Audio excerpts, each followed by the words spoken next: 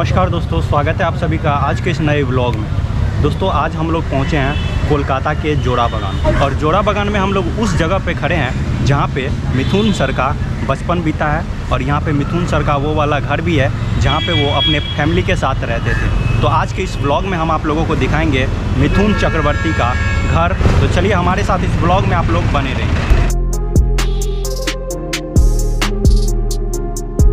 तो दोस्तों, आप मेरे सामने देख रहे हैं ये गली। ये गली जो है, इस गली का नाम है माथुर सेन लेन। और इसी गली में तकरीबन 100 मीटर अंदर जाके वो वाला घर है, जहाँ पे मिथुन सर रहते थे और जहाँ पे उनका परिवार रहता था। और यह सामने में एक चाय दुकान है। इस चाय दुकान से मिथुन सर की, बचपन की काफ़ी सारी यादें जुड़ी हुई है।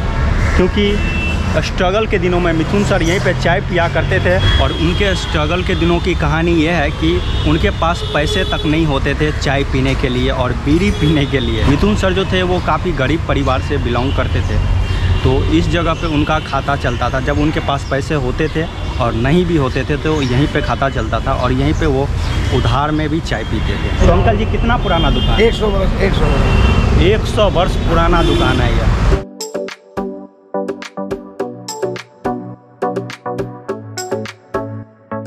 पीछे हम लोगों को चाय दुकान पे एक अंकल जी मिले जिन्होंने बताया कि जब वो छोटे थे तो उनको केतली दिया जाता था और वो आसपास चाय पहुँचाया करते थे और उन्हें शाम में उसके लिए 25 पैसे दिए जाते थे। जी हाँ आप समझ सकते हैं कि किस गरीबी से निकलकर उन्होंने अपना यह नाम बनाया। तो चलिए, अब यहाँ से हम लोग चलेंगे उस वाले घर पे, जहाँ पे मिथुन सर का बचपन बीता है और जहाँ पे वो रहते थे।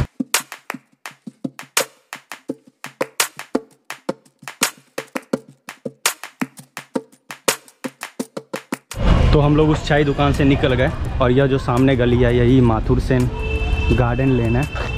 और ये सामने में जोड़ा बगान पुलिस स्टेशन है। देख सकते हैं आप लोग। ये गली इधर मुड़ रही है।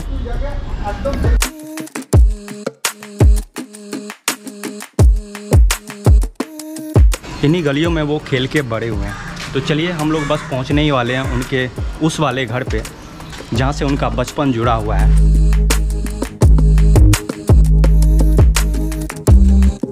इस गली से होते हुए अभी हम लोग पहुँच चुके हैं मिथुन सर के चाइल्डहुड घर पे।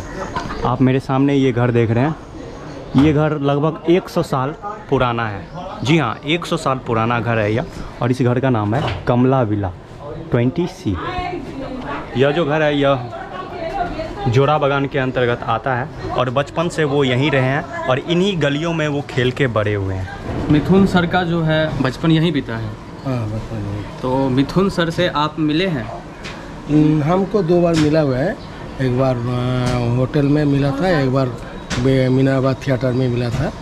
एक बार होटल में एक तो पार्टी था पार्टी में मिला था बात हुआ था सब। तो वो बचपन एक्चुअली उन्होंने जाने के बाद में हमने खरीदा है बाड़ी।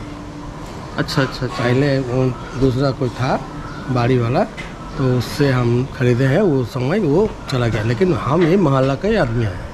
वो दूसरा रास्ता में रहता थे। लेकिन बाद में हम ये खरीदा है। ये अभी ये रिपेयरिंग का काम चल रहा है। कितने साल हो गए आपको ये घर खरीदे हुए इकतीस साल। इकतीस साल हो गए हाँ, तो जैसे कि अंकल जी बता रहे हैं इकतीस साल पहले इस घर का कोई और मालिक था। और अब इकतीस साल हो गया इस घर को अंकल जी को खरीदे हुए। तो आप देख सकते हैं यही वो घर है। अब तो शायद वो कभी इकतीस साल से यहाँ नहीं आए होंगे। या आए हैं? नहीं नहीं बाड़ी में नहीं आया।